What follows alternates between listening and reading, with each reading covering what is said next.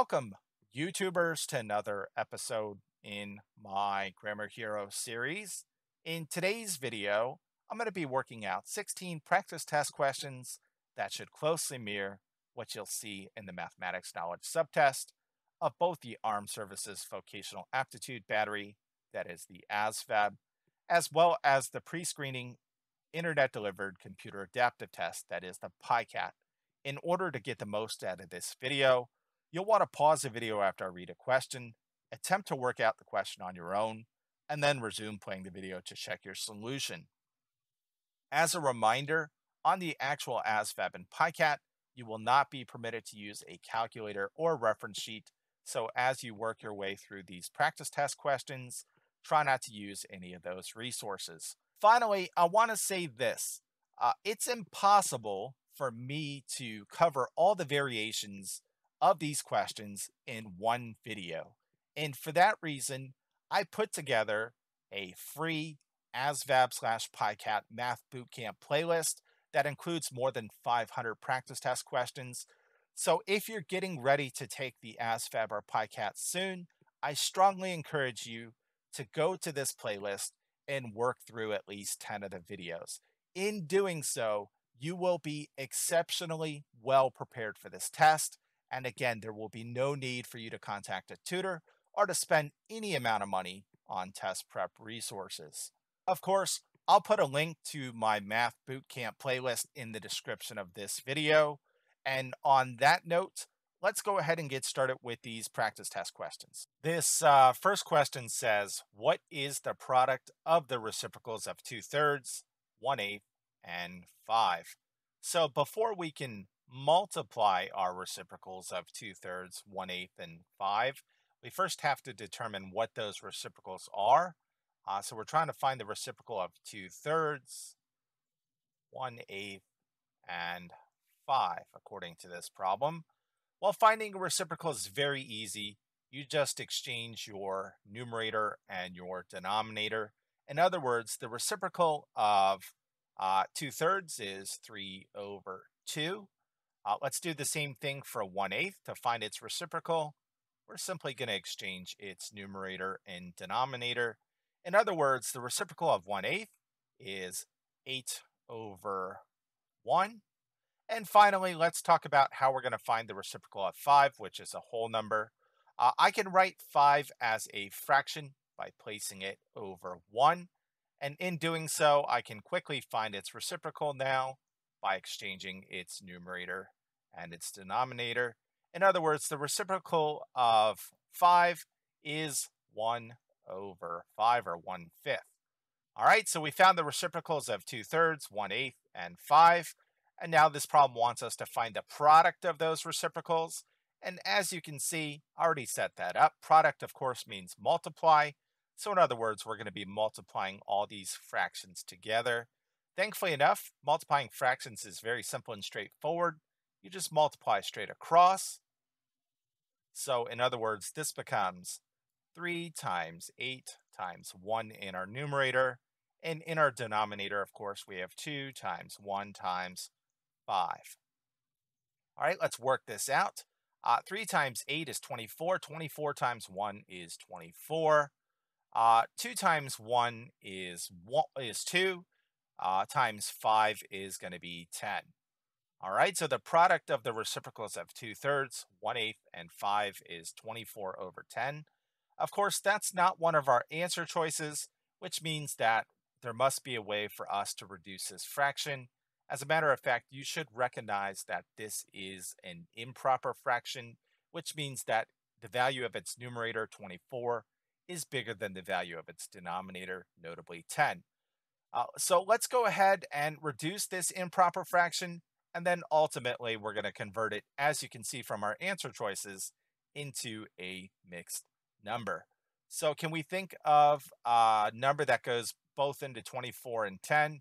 Of course, you should see that that is 2. In other words, we can divide uh, 24 and 10 by 2. 24 divided by 2, of course, is 12. 10 divided by 2 is 5. All right, so now that we've reduced that improper fraction, we're going to have to convert it to a mixed number. And if you watched my video where I review fractions, you know that this is actually fairly easy to do. Uh, we just read this as long division. So I'm going to read this as 12 divided by 5. And by doing this long division, we'll be able to convert this improper fraction into a mixed number. Of course, we start this long division by asking ourselves, how many times does 5 go into 1? It doesn't. How many times does 5 go into 12 without going over? That's going to be 2 times. Given that 5 times 2 is 10, uh, 12 minus 10 is 2. And at this point, we have enough to write our mixed number. This 2 right here is going to be our whole number. This remainder of 2 is going to be the numerator in our fraction. And this 5 is going to be our denominator. So in other words, the product of the reciprocals of 2 thirds 1 eighth, and 5 is A, 2 and 2 fifths. All right, so that is that one, a big test of your knowledge of fractions there. Number two says, what is the reciprocal of 3 and 1 fifth? So in this case, we want to find the reciprocal of the mixed number 3 and 1 fifth. Of course, in order to find reciprocals, we need a number expressed as a fraction, as you saw from the previous problem. So the first task here is to express 3 and 1 fifth as an improper fraction. And thankfully enough, that's pretty easy to do. Uh, our denominator of 5 is not going to change as we convert 3 and 1 fifth to an improper fraction. To write the numerator of our improper fraction, we do 3 times 5, which is 15, plus 1, which is 16. All right, so we wrote the equivalent improper fraction of 3 and 1 fifth. Now all we have to do is find the reciprocal. And as I mentioned in the previous problem, to find the reciprocal of a fraction, you just exchange your numerators and denominators. In other words, the reciprocal of 16 over 5 is 5 over 16. And just like that, uh, we are done with this one. All right, so uh, number three says, which of the following is not a prime number? And of course, we were given the numbers 5, three, two, and one. Well, as it happens, this is a bit of a trick question. Um, again, a number is considered prime if it only has two factors, notably one in itself. So the only factors are of 5 are 5 and 1, so we know 5 is prime. The only factors of 3 are 3 and 1, so we know that is prime. Similarly, the only factors of 2 are 2 and 1, so we know that is prime. Well, if you haven't worked with uh, prime numbers in a long time, you simply just have to memorize the fact that 1 is never considered a prime number. Again, trick question. So the correct answer to this one is D. 1 is not a prime number. As a matter of fact, 1 is never a prime number. All right, so uh, number four says the coordinates of point A and point B are 2, 4, and negative 2, negative 4, respectively. What is the slope of the line that connects the two points? All right, so we're given the two points, notably 2, 4, as well as negative 2, negative 4. And we want to find the slope of the line that connects the two points. Well, in order to find the slope, we're going to need the slope formula, which is this m, which refers to slope, equals y2 minus y1 over x2 minus x1. Of course, this is one of the formulas on my reference sheet that you have to memorize. As a matter of fact, I think it's on the very first page of my free reference sheet. All right, so all we have to do is identify y1, x1, y2, x2, plug them in, and simplify accordingly. And if you haven't worked with slope in a long time, you may be wondering where we get those values from. Well, we get those values from our ordered pairs. Again, this is x1, that makes this y1. This is x2, that makes this y2. So with those identified, let's just go ahead and plug them in. We can see that y2 is negative 4, so that becomes negative 4. y1 is simply uh, 4, so we'll plug that in accordingly. That's going to be over x2. x2 is right here, it's negative 2 minus x1, which is right there, it's 2. All right, let's simplify this now and let me move down just a little bit so we can see the rest of this problem. We have negative 4 minus 4. Negative 4 minus 4 is going to be negative 8. And then we have negative 2 minus 2. Negative 2 minus 2 is negative 4. All right, so we have negative 8 over negative 4. A negative divided by a negative is going to be a positive. Negative 8 divided by negative 4 is positive 2. So the slope of the line that connects the two points, 2, 4 and negative 2, negative 4 is B2. All right, so that is that one. Again, you have to memorize the formula to calculate slope. It's not that difficult. All right, so uh, number five says in the formula, C equals 5 ninths times F minus 32. If C equals 35, then what does F equal? All right, so the first thing I'm going to do is copy down this formula. And as you might imagine, C refers to Celsius, and F, of course, refers to Fahrenheit. Uh, according to this problem, we're told that C is 35, and we want to solve for F. All right, so in other words, we're going to be solving this equation that converts uh, Fahrenheit to Celsius for Fahrenheit. And the first thing I'm going to do, since I know C is equal to 35, is plug that in respectively. This becomes 35 equals 5 over 9 times F minus 32. Again, our goal is to solve this equation for F. In other words, we want to get F equal to something by itself. The first thing I want to do is get rid of this 5 ninths in front of this F uh, minus 32. And to get rid of it, we're going to multiply it by its reciprocal. You should know that the reciprocal of 5 ninths is simply 9 over 5. And we're going to multiply both sides of the equation by that to keep it balanced. This crosses out here and here, leaving you at just f minus 32 on this side. And now we got to take care of this over here. And I'm going to do this off to the side in case people haven't worked with these fractions in a long time. We have 9 over 5 times 35. That is to say, we're multiplying an improper fraction by a whole number. Well, to proceed, the first thing you want to do is rewrite this whole number 35 as a fraction by placing it over 1. And now, uh, to make this math a lot easier, we can simply cross reduce. I can say, for instance, 5 goes into 5 one time, 5 goes into 35 seven times. So this becomes 9 over 1 times 7 over 1. 9 divided by 1, of course, is simply 9. 7 divided by 1, of course, is simply 7. So this reduces to 9 times 7. What is 9 times 7? You should know your uh, 7 times tables or your 9 times tables. Uh, 9 times 7 is 63. All right, so 9 fifths times 35 reduced to 63 as we saw thanks to this work over here. And now to get f by itself, we're simply going to add 32 to both sides of our equation. This crosses out here, leaving you at just f on this side. Let's do this math real quick, and I'm going to do it the old-fashioned way so as not to make any mistakes here. Uh, 3 plus 2 is 5. 6 plus 3 is 9. In math, it's customary to write the variable for which you solved on the left. So we can say F, or Fahrenheit, is 95. All right, so the answer to this one is D, 95. All right, so number six says, what is the expression 5 factorial equivalent to? Uh, the first thing I want to point out is we don't read this as exclamation point in mathematics. That is a factorial symbol. And what it tells you to do is this. Let's say I gave you this. 3 factorial.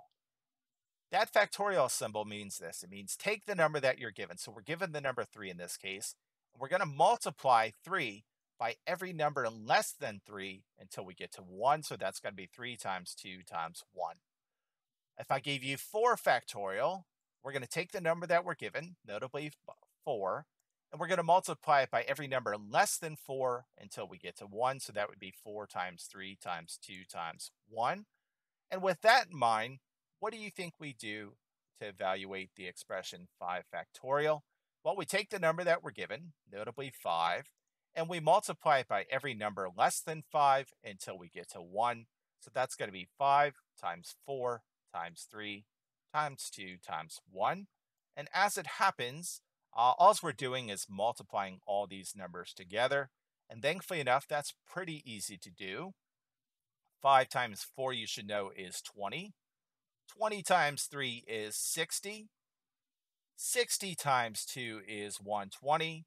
And 120 times 1 is simply 120. Again, any number multiplied by 1 is just itself. So the correct answer to this one is C, 120. And just like that, you learned about factorials. Uh, you do not have to watch a long video about factorials because that's all there is to it. All right, so uh, number seven here says if 25 equals 4x minus 7, then x equals. So for this one, we're solving the equation 25 equals 4x minus 7 for x. In other words, we're getting x equal to something by itself. Uh, so in this case, we're going to work on rearranging uh, numbers and variables in this equation until we get x by itself. The first thing you want to do is add 7 to both sides.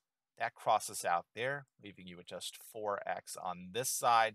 What is 25 plus 7? If you can't do that in your head, there's no shame in using your hands to do so.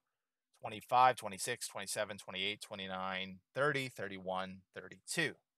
All right, so we're left with 32 equals 4x. Again, we want to get rid of that 4 in front of the x, so we're going to divide both sides by 4. This crosses out here and here, leaving you with x on this side. 32 divided by 4, you should know that from your times tables, it's 8. And in math, it's customary to write the variable for which you solved on the left. So we're going to write x equals 8. Uh, so the correct answer to this one is B. All right, so number 8 says, what are the factors of x squared plus 4x plus 3? In other words, we're trying to factor x squared plus 4x plus 3. You should recognize that this is a quadratic equation that has a leading coefficient of 1. So if we can factor it, it's going to look like this, x times x. All right, so now we're looking for two factors that multiply to 3 but add to positive 4. Uh, so what are those going to be? Well, we have two options. We have negative 3 times negative 1. Negative 3 times negative 1 is positive 3.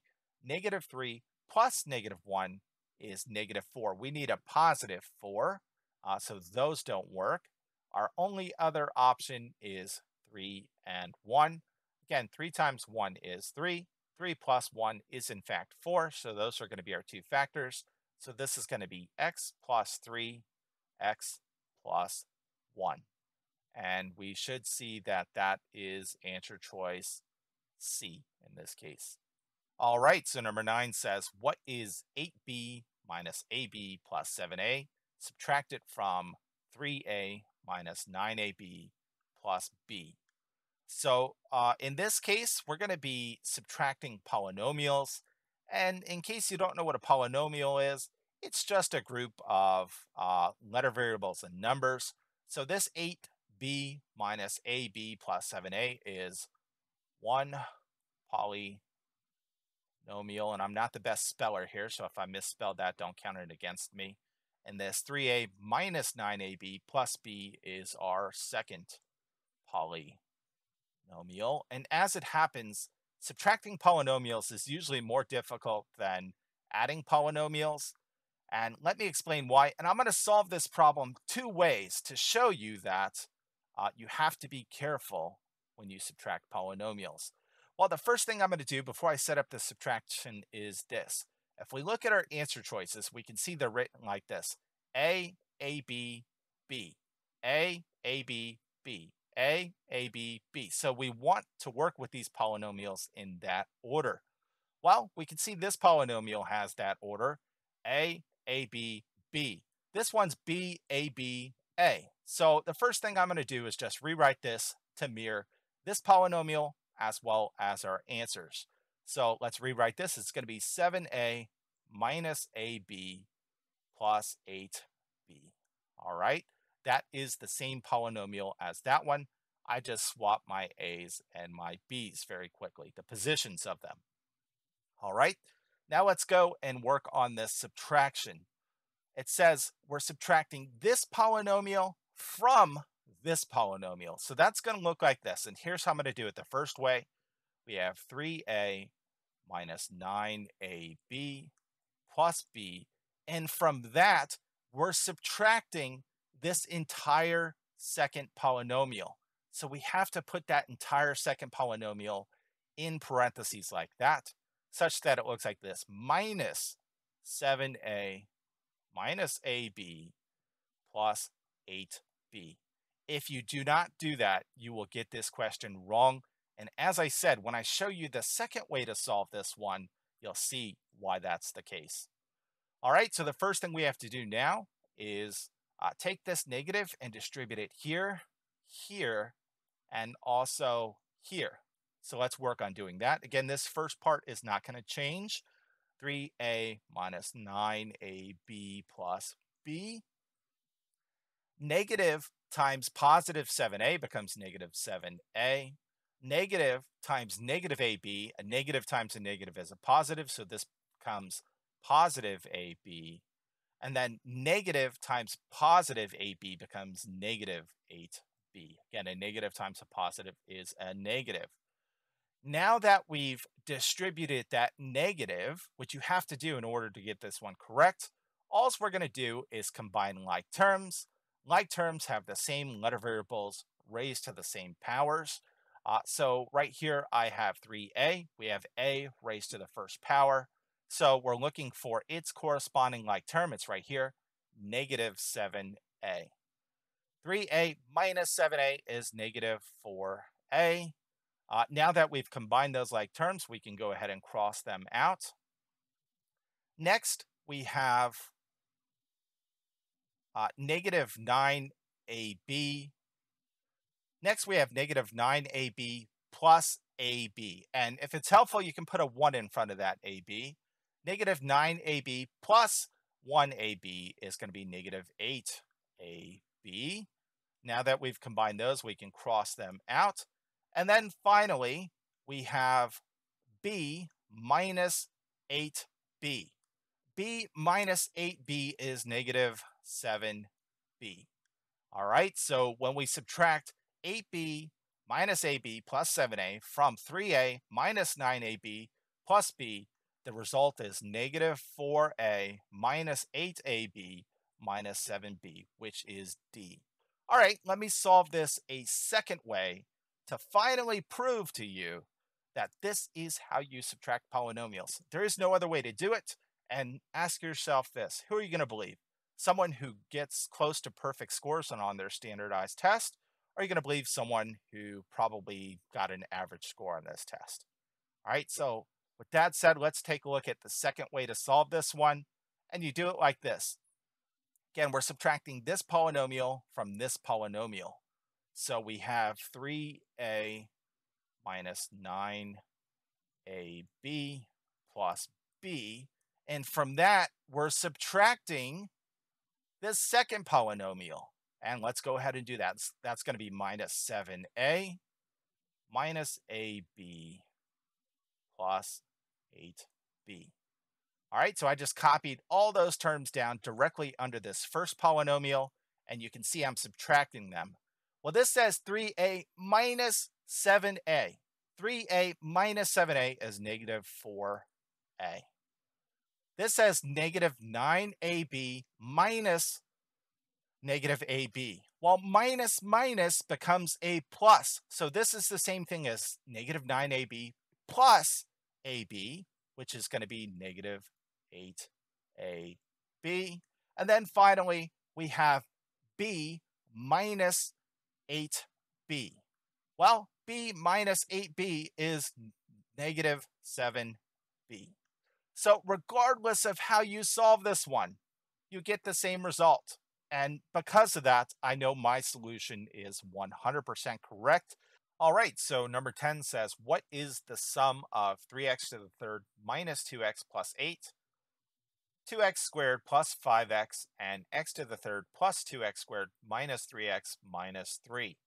Well, in this case, we're finding the sum of three different polynomials, and if it's helpful, I can go ahead and point out that this is one of our polynomials. This is our other polynomial, and this is our third polynomial. Uh, adding polynomials, unlike subtracting polynomials, is very simple and straightforward. You just line them up and combine like terms. So that's going to look like this 3x to the third minus 2x plus 8 plus 2x squared plus 5x plus x to the third plus 2x squared minus 3x minus 3. All right, so we just added all of those polynomials together. The signs do not change since we're just doing basic addition here. Uh, that said, all we have to do is go through this long expression here and combine our like terms. Again, what are like terms? Like terms have the same letter variables raised to the same power. So in this case, we have the letter variable x raised to the third power. Its corresponding like term is going to have the letter variable x raised to the third power. Let's scan through this expression. Right there, you can see we have x to the third power. And if it's helpful, you can place a 1 in front of that. 3x squared plus 1x, or 3x to the third plus 1x to the third is going to be 4x to the third. Now that I've combined those two like terms, I can go ahead and cross them out. Um, as you write your answer, you want your powers uh, to go from greatest to least. Uh, so you can see that we're starting with x to the third. Next, I'm going to write x squared. So let's look at this uh, 2x squared right here. Again, we have the letter variable x raised to the second power. Its corresponding like term is going to have the letter variable x raised to the second power. And we can see that that is right there. 2x squared plus 2x squared is simply 4x squared. Now that I've combined those, I can go ahead and cross them out. Of course, uh, the next letter variable with the highest power is simply x to the first. So we're going to be combining negative 2x, 5x, and negative 3x. Um, negative 2x plus 5x is 3x. 3x minus 3x is 0. So our letter variable x simply goes to 0. So we don't have to write in plus 0 here. And then finally, we have 8 minus 3. 8 minus 3 is simply 5.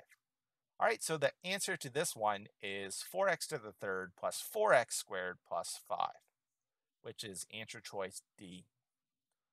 All right, so number 11 says, what is the area of a triangle with a base of 12 inches and a height of 8 inches?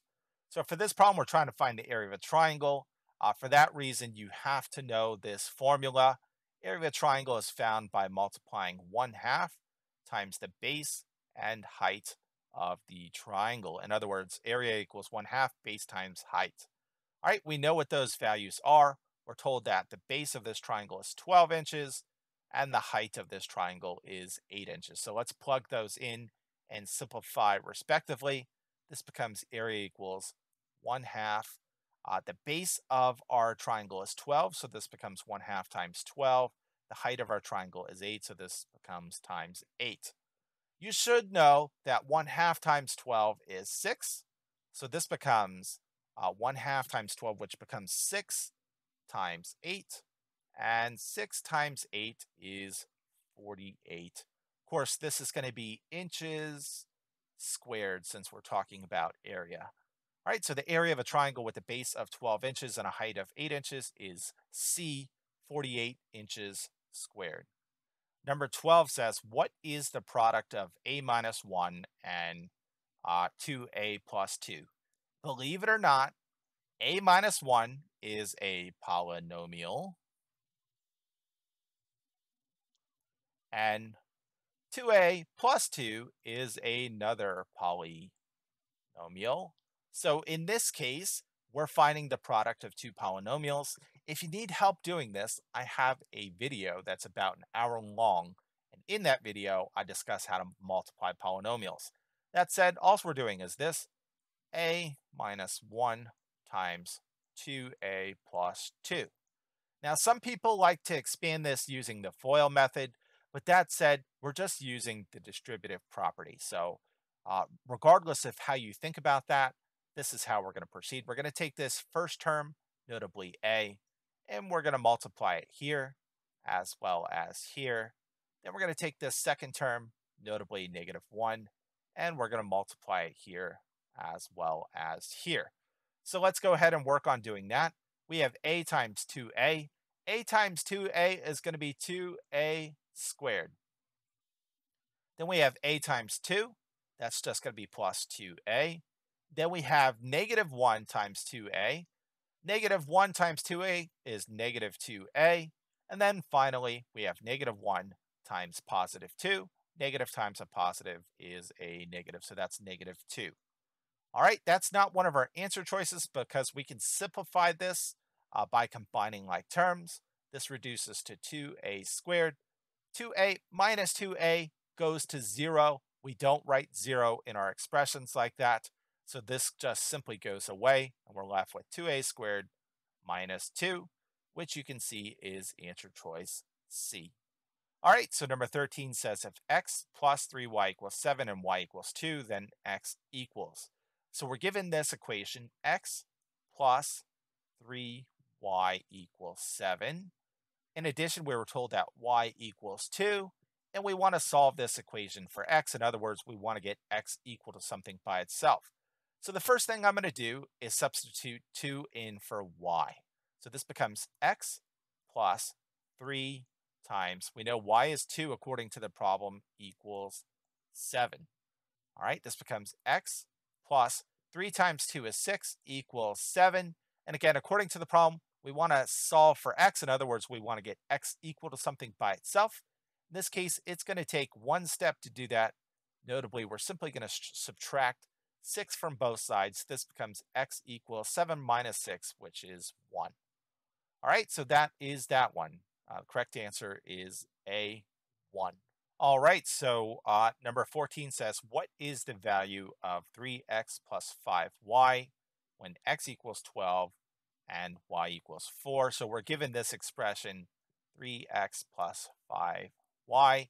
And what's more, we're told that x equals 12 and y equals 4. In other words, we want to know what this value of this expression is when we plug in 12 for x and 4 for y. So let's go ahead and do that. This becomes 3 times 12 plus 5 times, we know y is 4. Now, some of you aren't pretty good with your times tables, so it's okay on the test to work this off to the side. We have 12 times 3 like that.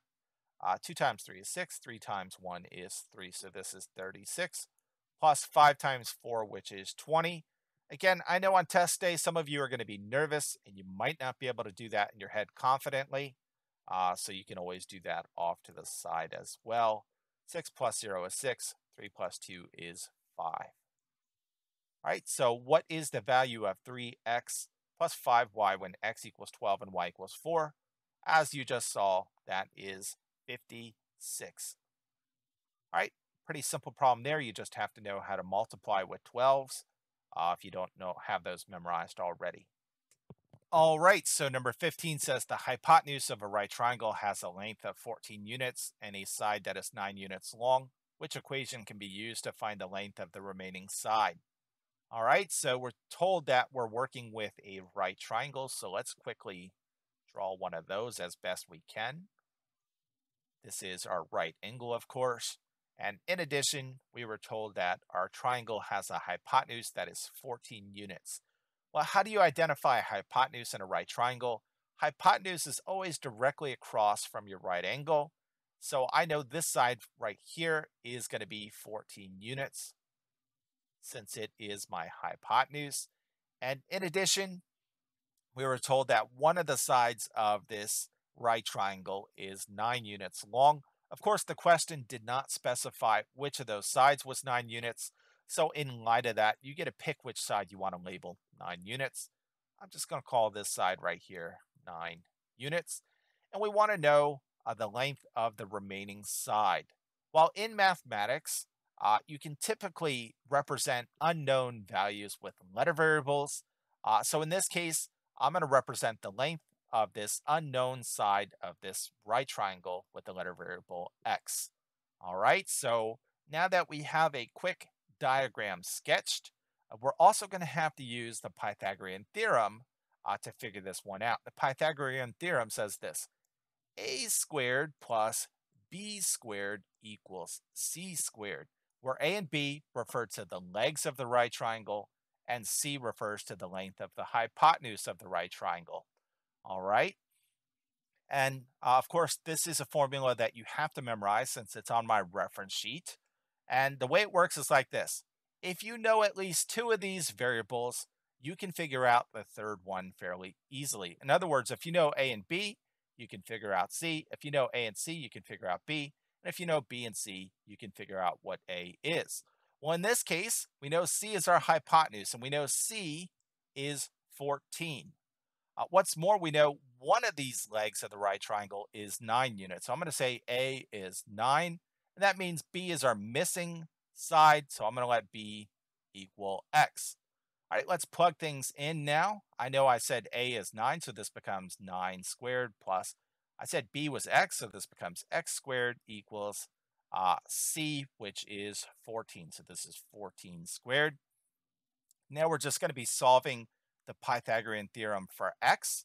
And if you look at our answer choices, you can see that they didn't even solve it for X. They just left it as X squared. So that's really all we have to do.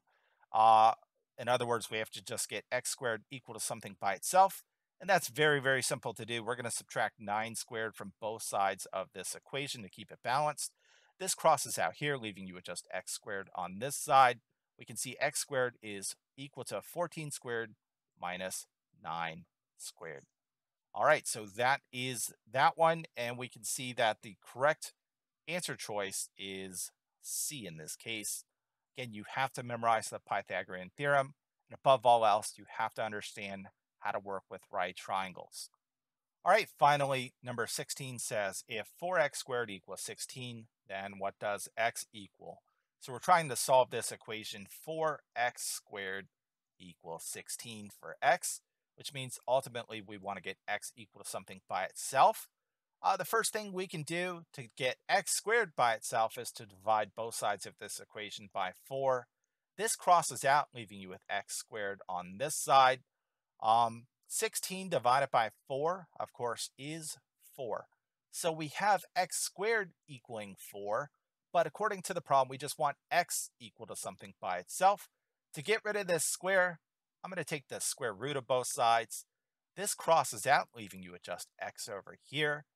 Uh, the square root of 4, you should know, is 2. So the correct answer to this one is D, 2. All right, so that is it for this video. As you just saw, none of the problems were very difficult at all. And for that reason, I don't recommend that you spend any money on expensive test prep resources or tutoring. Again, even time is money. So if you understood 80 to 90% of the stuff in this video, you're going to be good to go on test day. Do not waste your time uh, with those tutors telling you that this test is hard. All right, so again, I hope you found this video helpful. As usual, you're more than welcome to leave feedback in the comment section below. If you want to help my channel out, you can do one of two things. Uh, you can, of course, subscribe to my channel if you haven't done so already. And you can also share links to my videos, including this one on social media, including on Facebook and Twitter. And on that note, I'm going to go ahead and catch you loose. Konnichiwa.